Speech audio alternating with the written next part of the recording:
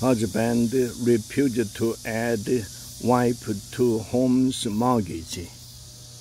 Dear Abby, my husband and I have been together for nine years, married for seven.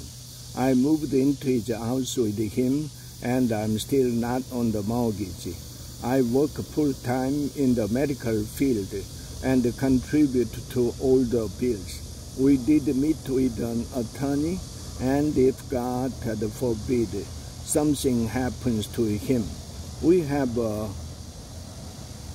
quit claim deed and I wouldn't have to leave. However, he said he had said to me several times, if you do this or that, you can't live here anymore.